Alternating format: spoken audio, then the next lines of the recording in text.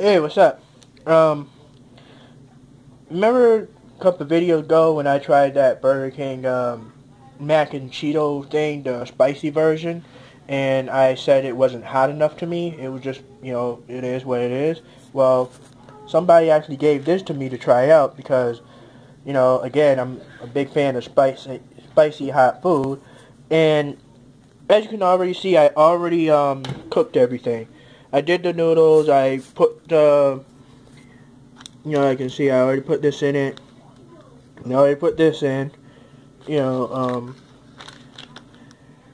it was very liquidy. It was very thick. It came out like a syrup, very dark red, maybe a little bit brownish. And yeah, I've never had this before, so I'm actually gonna try it, give it a shot. Now, stir it up a little bit more. Now I kind of like having a little liquid like water. I mean I dumped out the uh uh yeah, look at that color. Uh, yeah. Oh yeah, I'm actually getting excited for it. Anyway, um yeah supposedly I'm, I don't read comedy that well, but as you can see right here, it looks like it's basically saying it's ranked as number 7. It's the top 7 for the top 10 or 7 out of 10 of the uh, hot spicy ramen. So let's see if it's hot enough to me or if not. So, hey, what's up? As you can see, here it is again freshly cooked, still hot, you can still see the steam, like, yeah. So, alright, I'm actually uh, excited about this. So, is this hot? And like I said, I never had this before, so, here we go.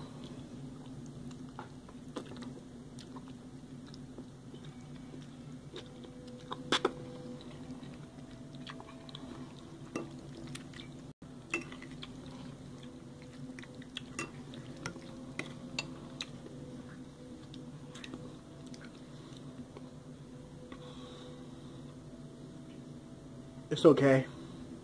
I mean, it got flavor, definitely. Got flavor.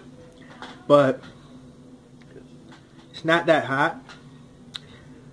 I kind of feel like want to add more hot sauce to it. But I'm not going to do that because it does have a good kick. Does has great flavors, but it's not hot to me. It is delicious though. Um, got a hint of sweetness though. Just a hint. But other than that, yeah. If you ever want to try this yourself, I would say I recommend it. Not too bad. I, I'd say give this a shot. Alright. Later. I'm going to finish this up. It's actually delicious. Peace.